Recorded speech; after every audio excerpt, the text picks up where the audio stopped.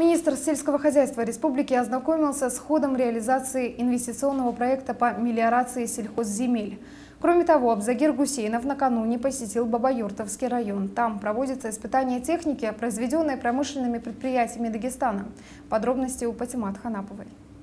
Общая стоимость инвестпроекта по мелиорации этих земель более 44 миллионов рублей. Реализует его фермерское хозяйство «Ихсан». Проект предусматривает строительство растительной системы с применением современных дождевальных машин. Площадь пахотных земель более 200 гектаров. Завершить работу планируют в этом году. Сейчас в хозяйстве уже построено водохранилище, а также закуплены дождевальные машины. А в Бабаюртовском районе тем временем проходят испытания сельхозтехники техники дагестанского производства. Их закончат в течение месяца и по итогам будут составлены рекомендации по улучшению и совершенствованию.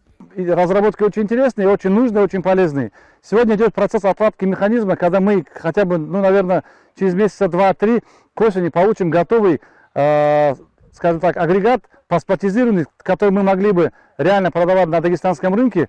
Ну и, конечно, впоследствии выходить на рынки Ставропольского края, ЮФО, СКФО. Все недоработки будут обсуждаться в ближайшее время властями республики. Затем доработанные образцы должны быть представлены производителями не позднее второй половины июля. В течение месяца мы испытывали продукцию ДАК дизеля и Буйнакского агрегатного завода.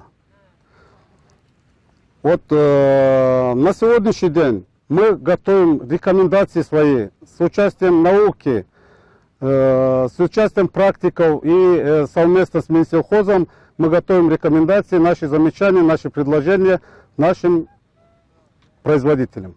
Отметим, что в республиканском бюджете заложено 100 миллионов рублей на субсидирование закупок техники и агрегатов на уровне до 50%. Патимат Ханапова, Мурат Бекбарсов, новости ННТ, Левашинский и Бабаюртовские районы.